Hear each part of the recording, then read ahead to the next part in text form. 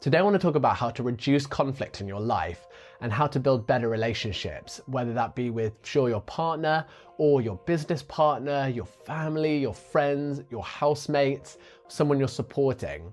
By using this concept, the five love languages, we can actually help to improve our communication and our understanding of all the people around us. So, there's this concept which is that we give and receive love in five different ways, but we think that everyone gives them gives love and receives love in the same order as us but we actually all give and receive love in a different order of importance of those five different ways which i'm going to get into so it can be really useful to understand how you like to receive and give love, and then how the people that are close to you do the same. So that's going to help you reduce conflict and it's going to help you build stronger and better relationships. So, welcome to the Power of Helping. My name is Reuben Wachs and I'm a trainee counselor and I'm passionate about improving people's lives so that they're then in a better place to empower and support the people around them. So, the five love languages, which is how we express our love and that we care for people, are words of affirmation, which is just saying how we feel,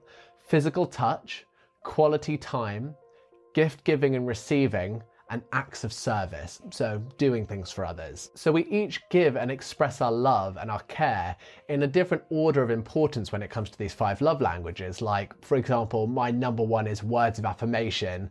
I definitely say how I feel about people, and it means so much to me when people say the things to me, how they're feeling. And then my second one is physical touch. Like, I love giving people a hug when I see them, or if someone puts their hand on my shoulder and tells me I'm doing a good job, that's double whammy. I'm feeling great. So we each have it in a different order. Now it uses the word love, but really it's just an expression of how you care for people. So that could be in a business relationship or a colleague. Like, let's say a colleague goes and gets you a muffin on the way back from getting a coffee. That's them showing you love through gift giving. Or if they decide to take something off your hands because you're really stressed, that's them showing that they care through an act of service. Now, conflicts, unless something really bad has happened where someone has done something that's really impacted someone negatively, a lot of conflicts in our lives are caused by miscommunications because we feel like our needs aren't getting met or we're being misunderstood or underappreciated. And so the concept of love languages can help us explain a little bit why this does actually happen. Now, a classic example of this is one person of the relationship going off and working incredibly hard to support the family. And they're working all the time, and that's clearly them. They're thinking, I show my love because I provide for the family. They're doing their act of service. They're giving 10 out of 10 for that type of love language.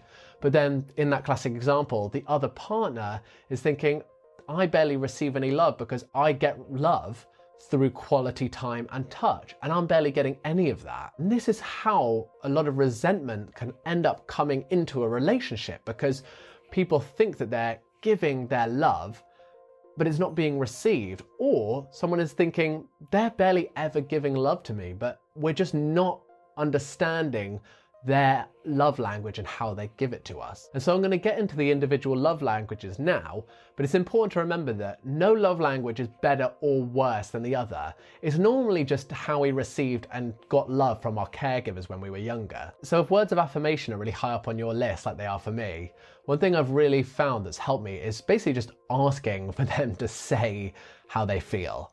So, for example, in my last relationship, I definitely have quite active service tendencies, so I do a lot of things for people.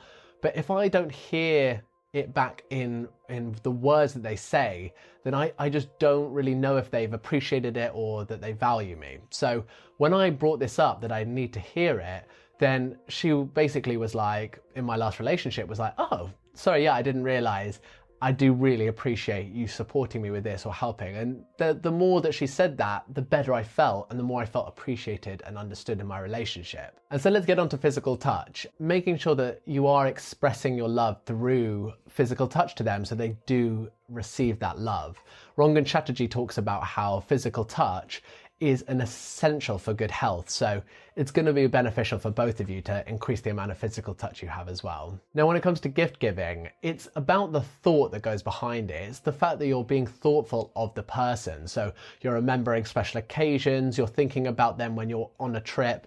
So if the person that you want to improve this relationship with is very gift giving, then remembering that so that you can bring in some of that extra care when maybe that's not the first thing that you think of. That was exactly how it was in my last relationship. Gift giving was really high on her uh, love languages, but it was really low on mine. And I wouldn't think of that very often. But when I when we did the test together and I found out that that was her up high on her list, I started to do that more and I saw a massive difference. So think about basically adding a bit more of that in if you find that they are more gift giving orientated. So if quality time is really high up on the list for either one of you in this relationship, whether that's your business partner, colleague, family, friend, partner, whoever it is, a really great way of getting that need met is through scheduling quality time together. So having no distractions, no phones, and just making sure that that time is set for just you two. And lastly, let's talk about acts of service, which is where you're basically wanting to show them that you are a part of their team. You're either helping them with the workload, you're doing tasks together, or you're offering to take things off their hands if they're really stressed. And this is going to mean a lot to those people. And if this is a way that you really receive love, again, it's just about expressing that to the other person that you really appreciate when you do things together or they're supporting you in those ways. Honestly, don't underestimate how strong a concept this is. It can be so powerful if you bring it into your relationships or you just use it as a framework to understand how your relationships are going. Now, I've seen so many conflicts get repaired by just bringing this concept in to help them. Quite a few of my friends, I've seen them having conflicts with their housemates, and it's all been really about do they feel appreciated and are they caring enough? But when you bring this in, you can recognize that they are, but they're just missing each other because they're giving 10 of one and the other's just receiving it as a two, and it's been the same the other way round. So when they both can acknowledge that, they can see how they both have been trying to show their care and they've just not been meeting each other in the right way. So try bringing it in. It's honestly amazing. So if you want to know what yours are, you can take a test and I'll put a link to one down below. It's on fivelovelanguages.com. And it's double good if you get the person in this relationship you're with to take it as well. Like in the end, it's super fun to do. It adds loads of clarity and it improves your communication, which is going to reduce conflict and build a deeper, better connection. So you can't really lose. So if you enjoyed this kind of content as well, I've got a video on improving communication, which I'm sure you'll enjoy as well. So I'll put a link to that as well. And yeah, big thank you so much for watching. I really appreciate it. And if you enjoyed it and you got some value, then please consider hitting the like and the subscribe button. And I look forward to seeing you next week. Have a great day.